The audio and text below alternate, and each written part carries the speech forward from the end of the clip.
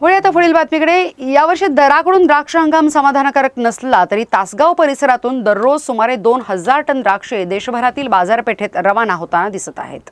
यावर्षीचा द्राक्ष हंगाम तसा शेतकऱ्यांसाठी समाधानकारक नाही. कमी दर आणि वजनाची समस्या भेडसावत असली तरी द्राक्ष वेलीवर ठेवून शेतकऱ्यांना दराची वाट पाहता येत नाही.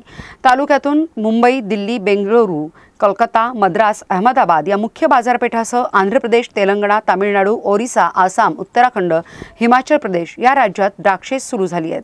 तासगाव मणिराजुरी आणि सावळज या तीन प्रमुख ठिकाणी सर्व भागातून द्राक्षे एकत्र करून देशभरात रवाना होत आहेत.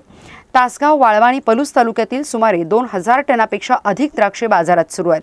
द्राक्ष वेलीवरून तोडल्यापासून चौथ्या दिवसापर्यंत पश्चिम बंगाल बांगलादेश उत्तराखंडपर्यंत पोहोचत आहेत.